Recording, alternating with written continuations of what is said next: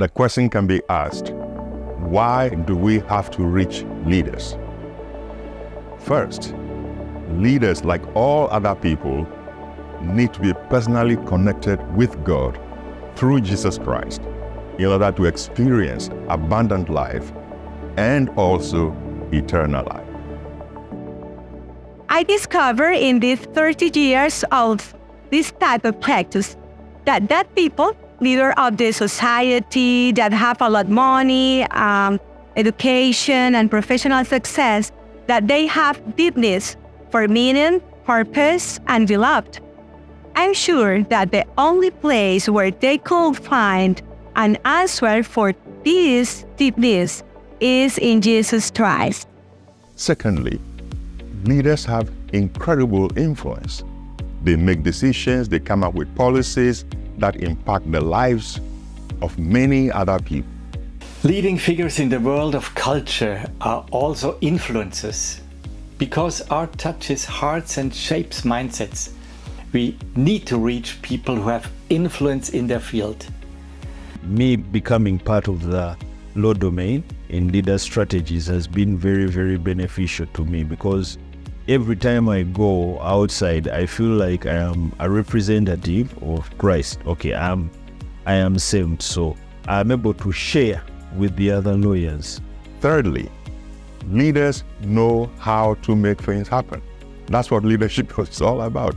So they are where they are because they have been successful in knowing how to turn ideas into realities it's been a humbling opportunity um, and experience rather to know that God, the Lord of the universe, can actually use someone like me. And what I have learned is that God does not use special vessels, but uses available vessels. Fourthly, leaders have the resources to sponsor the things that they consider to be priorities. Because of that, leader strategies is focusing on engaging more leaders so that they can utilize their leadership, their influence, their finances, and expertise to help accelerate the fulfillment of the Great Commission. Their leadership, this is talking about the leadership opportunities they have because of their positions. Their influence is referring to their relational capital. Their finances, of course, money and expertise, the various skills that they have acquired, experiences that they have acquired over their lifetime through their educations and engagements and what have you.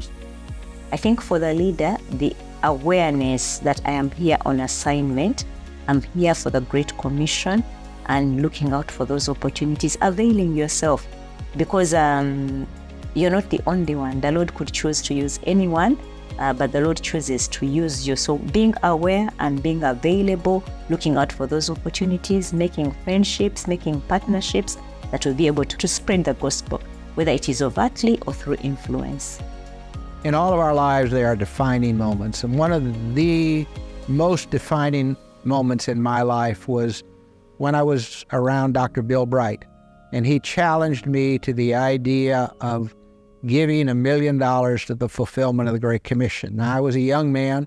I didn't have a million dollars at the time. I, was working in a profession. I was a commodity trader, literally a lumber trader. Today, we're about a $100 million a year company. And that's probably just one of about five different companies that we own. And uh, if I look back now, uh, we have probably generated over $5 million that we've been able to give. When leaders are transformed by the love of Jesus and they give their leadership, their influence, their finances, and expertise back to Him, cities and nations are transformed. Who are those leaders in your nation? Trust the Lord. Step out in faith. Reach them with the gospel and see Jesus mobilize them for the Great Commission. So, what's the next steps? Start one of our leader strategies, expand into a new audience, and see what God can do will be transformational. For He is able to do more than we ask or imagine.